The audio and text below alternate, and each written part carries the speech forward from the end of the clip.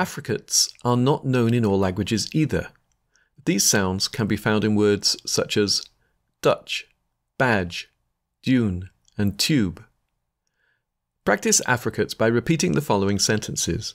Don't forget to record yourself and listen back afterwards to see whether you've mastered them or whether you need to repeat the task. These chairs just need some adjusting. German, Dutch, and French are difficult languages.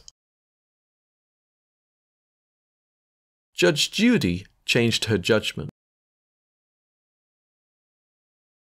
Which gadget did Jack choose? George is from Belgium. James comes from Germany. Rachel found it a cheap joke. Did Jake change much?